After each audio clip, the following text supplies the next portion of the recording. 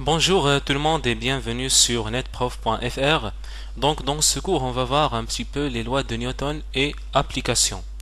Donc on va voir en toute simplicité euh, les lois de Newton et on va voir quelques applications de, de ces lois-là.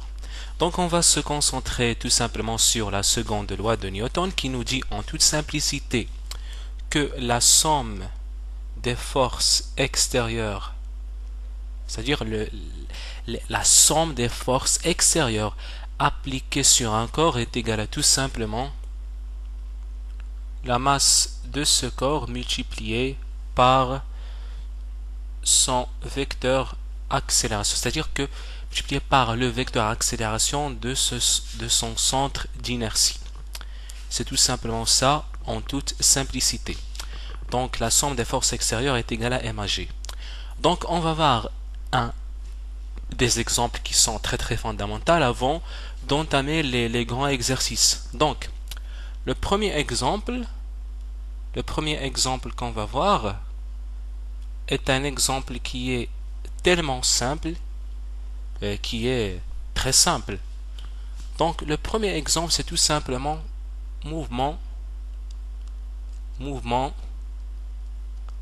d'un corps d'un corps S que je vais appeler tout simplement S. Pourquoi j'appelle ce corps S? Bon, parce que j'aime bien l'appeler S. Mouvement d'un corps S sur un plan horizontal. Sur un plan horizontal. Donc on a un certain mouvement là, un, pardon, un certain plan qui est horizontal et on a un certain corps qui est tout simplement ce corps-là que vous voyez. Donc, le centre d'inertie de ce corps, il est bien au centre. Voilà le centre d'inertie G. Donc, on va considérer dans un premier plan que il n'y a pas de frottement. On va en toute simplicité négliger les frottements. Donc, je vais tout de même ajouter ici un certain axe qui est tout simplement l'axe OX comme vous pouvez le voir et qui est très très simple devant vous. Donc, on va appliquer la deuxième loi de Newton. On va tout simplement appeler ce corps-là le corps S et je vais dire que le système étudié le système étudié qu'on étudie là c'est tout simplement le corps S. Je vais écrire que les forces extérieures les forces extérieures appliquées sur ce corps S sont en toute simplicité. Donc il faut savoir que les forces appliquées, que la première force qui est très très simple et très triviale à voir, c'est tout simplement le poids de ce corps-là. Et eh oui, le poids de ce corps. C'est-à-dire que la Terre, en effet, elle exerce sur ce corps une certaine force. Bon, c'est exactement le poids. D'abord, on a le poids. Le poids qui est tout simplement P est égal à mg. Eh bien, il faut savoir qu'on a un certain plan qui est horizontal. C'est-à-dire que dès que je place ce corps-là sur ce plan qui est horizontal, on a une certaine réaction de ce plan horizontal. Cette réaction est très importante parce que elle laisse le corps sur le plan horizontal. Si cette réaction n'était pas suffisante, le cours il va écraser le plan horizontal et il va tomber. Donc ici, tout simplement ce qu'on appelle la réaction R. La réaction R du sol ou du plan. On a là, on a appelé le plan la réaction du plan. Et je devrais tout de même ajouter une certaine force qui est tout simplement ma force à moi pour bouger ce corps-là. La force F. Voilà, tout simplement pour faire bouger ce corps. Une force F comme ça. Tout simplement la force F. Voilà. Donc, j'ai pu en effet vous donner les forces extérieures appliquées sur ce corps S. Maintenant, il suffit juste d'appliquer la deuxième loi de Newton. Donc, la deuxième loi de Newton, qu'est-ce qu'elle nous dit? La deuxième loi de Newton, elle nous dit la chose qui est la plus triviale. Bon, je ne sais pas si c'est bien trivial, mais la somme des forces extérieures est égale à tout simplement M à G. Bon, j'ai pu en effet vous donner toutes les forces extérieures qui sont tout simplement le poids, la réaction R du plan et puis la force F. La somme des forces extérieures, c'est tout simplement P plus F plus R. Ça va donner exactement M G, comme vous pouvez le voir devant vous très très clairement et très simplement. P plus F plus R. Voilà, donc je vais appeler ça tout simplement la relation 1. Et je vais tout de même ajouter, j'ai ajouté l'axe le, OX, là je vais ajouter tout simplement ce qu'on appelle l'axe OY en toute simplicité.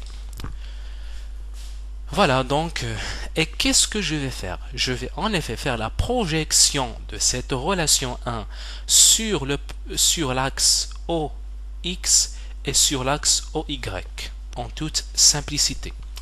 Donc, qu'est-ce qu'on va faire? On va tout simplement, donc, je vais tout simplement effacer un petit peu ça, donc j'espère que vous avez déjà écrit bien tout cela. Voilà, j'efface. Et on va faire une, chose qui est très très simple, c'est-à-dire qu'on va faire la projection, la projection de la relation 1 sur l'axe OX. Sur l'axe OX en toute simplicité. C'est-à-dire qu'on a ici devant vous euh, la relation 1. Bon, quand on va faire la projection, c'est-à-dire qu'on va obtenir des composantes, on va obtenir tout simplement la composante Px de P, la composante Fx de F, puis la composante Rx de R, puis la composante Ax de AG. C'est-à-dire qu'on va obtenir ces trucs-là, Px plus Fx plus Rx est égal à M AX. Alors, alors, alors, alors. Bon, pardonnez-moi parce que je n'ai pas pu présenter, vous présenter les forces. Le poids P, il est toujours dirigé vers le sol. Le poids P, il est comme ça. La réaction, en effet, la réaction, on n'a pas de frottement, c'est la réaction du plan. Elle est comme ça en toute simplicité, c'est-à-dire que ça, c'est tout simplement la réaction. Bon, je devrais tout de même dire que, voilà, donc le P, il est comme ça. ici, j'écris sur. Donc, je vais faire la projection de la relation 1 sur l'axe OX en toute simplicité. Voyez-vous bien que l'axe OX, c'est ça. On remarque que P, il est perpendiculaire à l'axe OX. Donc, puisqu'il est perpendiculaire, alors sa projection sur cet axe OX est égale à exactement 0. Donc ce PX va donner 0.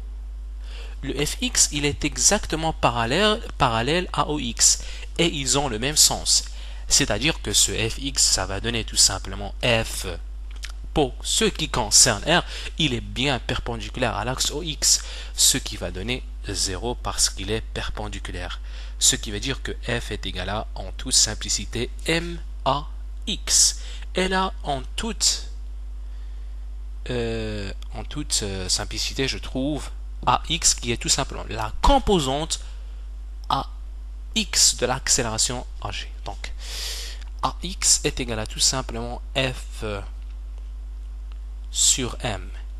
Et là, je trouve cette composante qui est en toute simplicité la composante AX. Donc, je vais tout de même écrire cette relation qui est la relation 1 ici quelque part. Donc, P plus F plus R est égal à M.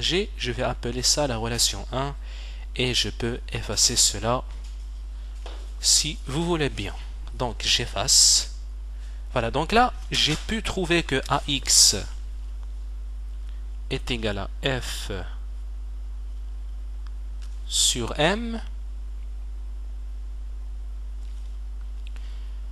Donc, ce qui veut dire que donc il faut savoir que AX, c'est tout simplement la dérivée de la composante de la vitesse Vx par rapport au temps, est égal à F sur M.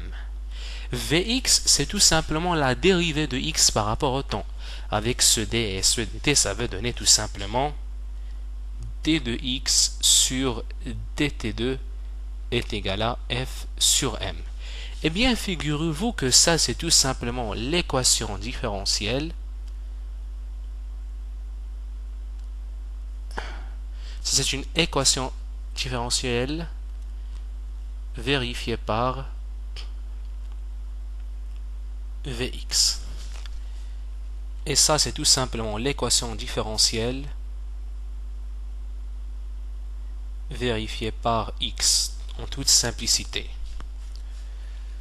Donc après, à l'instant, on va faire la projection de la relation 1 sur l'axe OY.